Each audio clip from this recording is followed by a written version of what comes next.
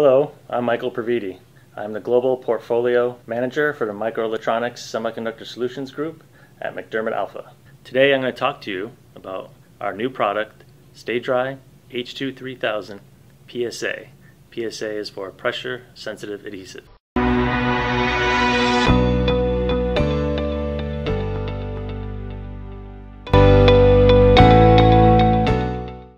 H2 3000 PSA uses the existing MacDermid Alpha H2 3000 standard product, which we have made for 20 years, and has been in high volume manufacturing of that time with an excellent reliability record. PSA is short for pressure sensitive adhesive. So we have taken our great product, the H2 3000, and added a space grade, low outgassing acrylic backing adhesive or PSA backing. The PSA tape eliminates the RTV silicone attach process and subsequent squeeze out with the standard H2 3000 product. This thus eliminates mixing, dispensing, and curing time associated with the RTV standard attach of H2 3000. All in all, this eliminates anywhere from 16 to 24 hours of production time associated with mixing, dispensing, and curing versus the new H2 3000 PSA product. H2 3000 PSA still meets and exceeds the MIL standard 883 requirement, and STAYDRY H2 3000 PSA also meets the NASA ASTM E595 test requirements for condensable organic volatile matter, with resulting RTV squeeze out, which is very common, the standard H2 3000 processing. The H2 3000 PSA, in this picture you can see there's no squeeze out associated with the backing tape attached to the backside of the film, and this also increases design flexibility for the H2 3000 and can now be placed in many alternative areas of a module than just the lid assembly.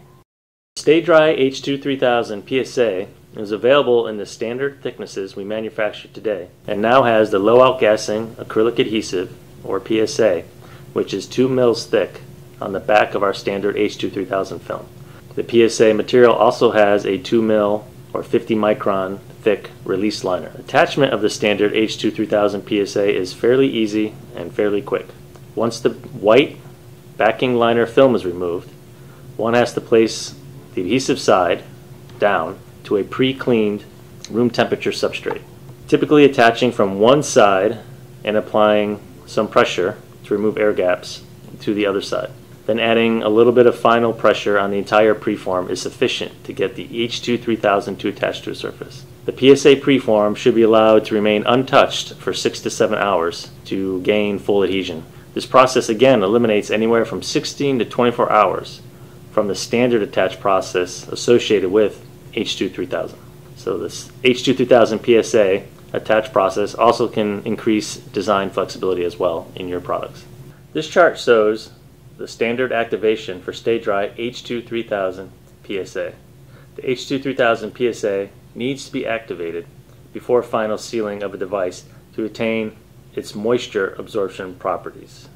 The hydrogen component for H2 3000 and H2 3000 PSA is always active, and the H2 3000 PSA is stable for up to 250 degrees C in the PSA form.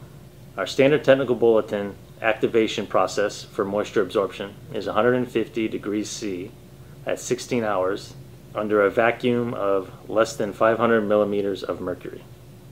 In this slide, we present the NASA ASTM E595 specification test data.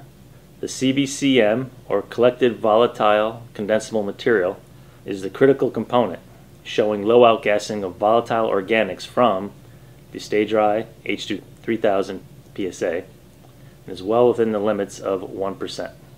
The TML, or total mass loss, is due to the water vapor recovered content. The H2 3000 and H2 3000 PSA are also designed to absorb water. In the test for the NASA ASTM E595, the material is first saturated with water, so the moisture absorbers perform as expected, and the WVR percent in the test corresponds highly to our internal test data for moisture absorption.